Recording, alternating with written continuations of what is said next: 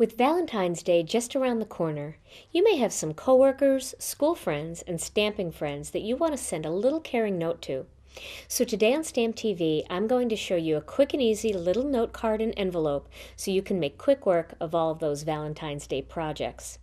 Let me show you the tools and products you're going to need to do this project. First, you're going to need some stamps, and I'm using two of the stamps from the True Love Stamp TV kit. The first one is the label stamp, and then another one is one of the greetings, and this greeting fits inside this label stamp. You're also going to need the coordinating die, and this is from the Spellbinders Labels 8 die set, and that fits perfectly with our stamp that's in that kit. Then you're going to need some ink pads, and I have two Memento ink pads. One is Tuxedo Black and one is Rhubarb Stalk. You're also going to need a few Copic markers, and I have R59, which is Cardinal. I have R35, which is Coral. I have BG10, which is Cool Shadow, and then I have my Copic Colorless Blender. And that I'm just going to use for any cleanup if I go outside of the lines. Then you're going to need some score tape, and I'm using the 1 8th of an inch score tape for this project because the little area that I want to tape is very, very thin. If you don't have the 1 8th of an inch score tape and you have the quarter inch or the half inch, just cut a little piece from your larger score tape that will fit in this area. So you don't have to run out and get the 1 8th of an inch unless you want to have it and you want to make a lot of projects. It is more convenient. But you can make use of what you have in the meantime. Then for the envelope, I'm going to use this corner rounder. I'm also going to use a piece of the pattern paper from the True Love pattern paper pack. And then for my main part of my card, I'm going to use a piece of the Gina K Designs 120 pound base weight white because this is going to be my whole card, so I want it to be nice and sturdy. And then I do have a pair of scissors too. Okay, so let's get started. The first thing we're going to do is create the label. This is going to be the front of the card. So we want to ink this up really well, and I'm going to use some of the rhubarb stalk ink for this. Makes it a lot easier to turn the stamp on its back and use the ink pad to get the ink on the stamp rather than do it the other way. This way you can see that you've inked up the entire surface of the stamp. And then I'm going to stamp that right here at the bottom of my piece of white cardstock. There we go. Now my next step is to stamp the greeting and I'm going to do that with Tuxedo Black. And what I've done here is because I want this to line up perfectly, I've created an image on my imaging sheet for the Stamp-A-Majig so that I can stamp this perfectly in the center where I want it. So I'm going to lay that imaging sheet down and replace my tool. And then I'm going to ink up my stamp and stamp it.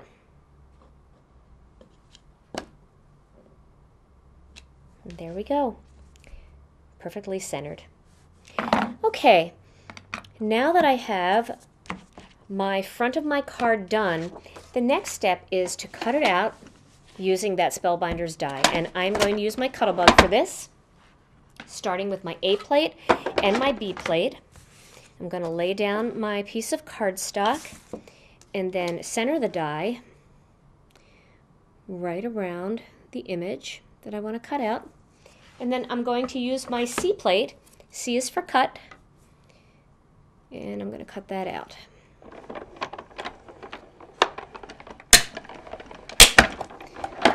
Okay. Now that I have that one cut out, I'm going to need the back of my card. So I'm going to cut one more, and I'll use that empty spot at the top. Make sure that's not dusty there. So one little quarter sheet of cardstock will make a whole card. This way, if you're judging how many pieces of cardstock you'll need to make for how many different projects, you can easily get four projects out of one sheet of cardstock. Okay, so there's the back of my card and the front of my card.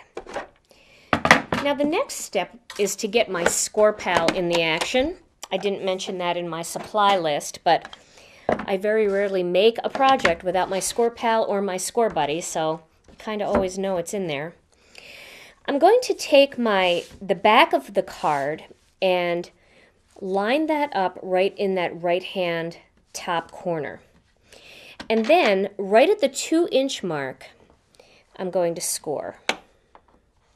Now you can see that's a very tiny little space there. I'll show you that a little bit closer. Right there is the two inch mark. You can see very tiny little bit of space. And that's where I'm going to add my score tape. So I'm going to add that before I fold it. Let me grab a little piece of tape here, measure it out, and then stick that right up against that score line. I don't want it to hang over too much. There we go. That's not hanging over.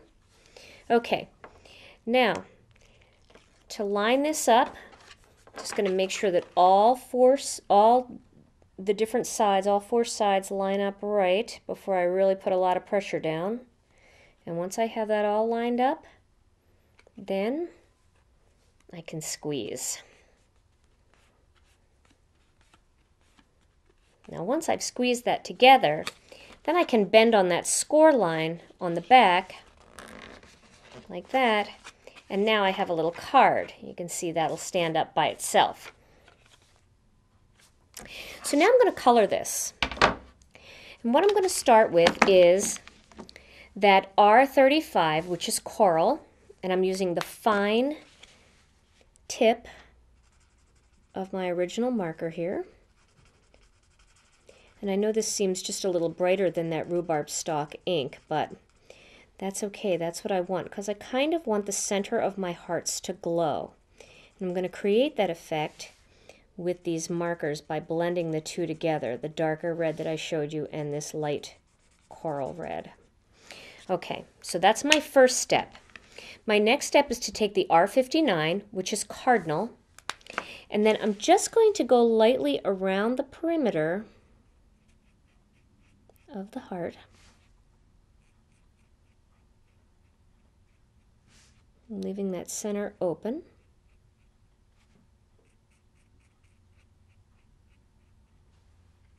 Like that. Then going back over it with the cardinal again, I'm sorry, with the coral again, I'm going to start coloring over that cardinal and just blending those two colors together. And that gives me that glow in the center.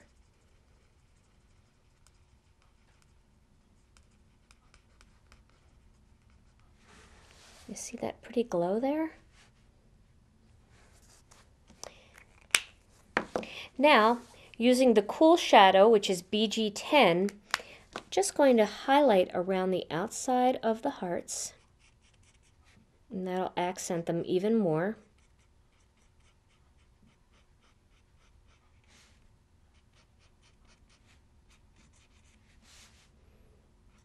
You can take that out as far as you want.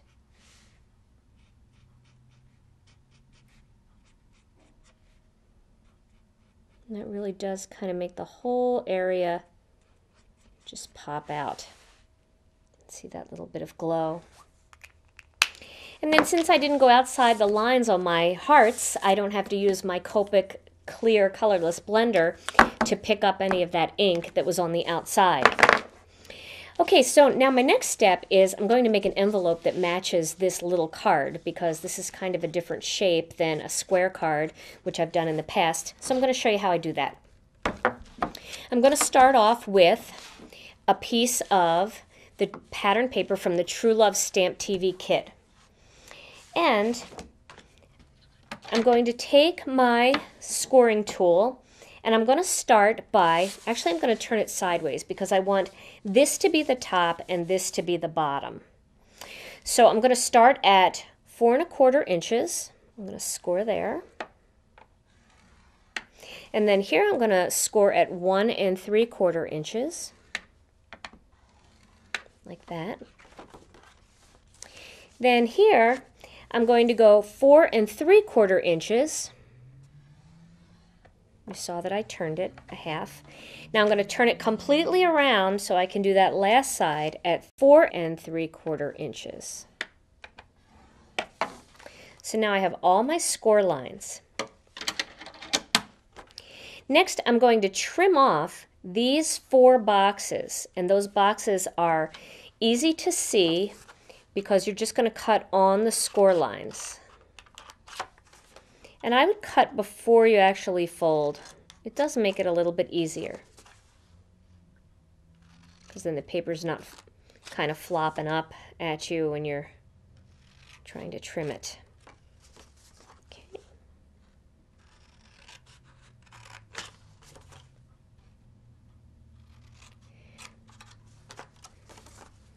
And there are my four boxes that I've cut off. Okay. Now, I'm going to fold this. I'll fold one side in and the other side in. And then this side, I'm going to fold up. Now this doesn't look very finished to me. So what I'm going to do is I'm going to take a pair of scissors and I'm just going to eyeball it. I'm going to cut from on an angle just up to that notch there. And I'm going to do the same thing on the other side, just eyeballing it. Now when I fold these in, this looks a little bit more finished to me. You could do it this way if you prefer, but I kind of like the flap kind of hiding those sides.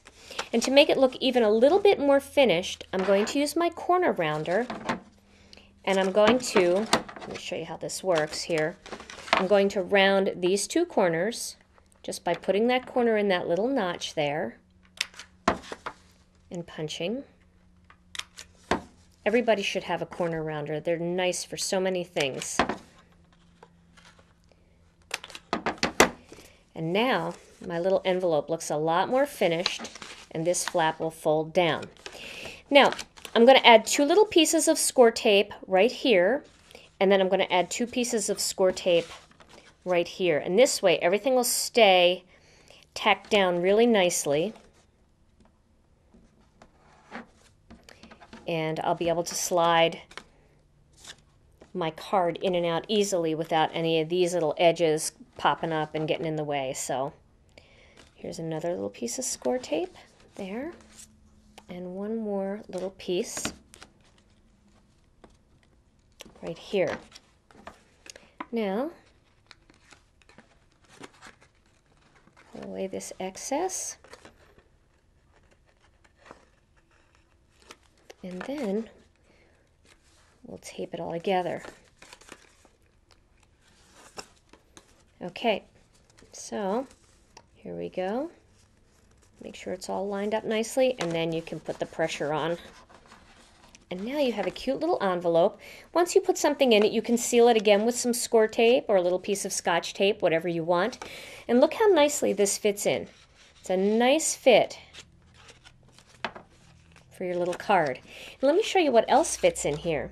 This is a really nice little envelope for gift cards. Here's a little Starbucks gift card, and that also fits in there perfectly. You can also slip a little card in there with it if you wanted to say something special, and that makes a nice little gift. Put a little ribbon around it, maybe a little coffee tag, and there's a perfect little gift. So that's a quick and easy little project for you to do for Valentine's Day. But don't limit yourself just to Valentine's Day. Use these quick little label cards to attach to gifts, and you can also use the same layout to make adorable place cards for your next formal dinner party or to label what's in each crock pot at your next potluck.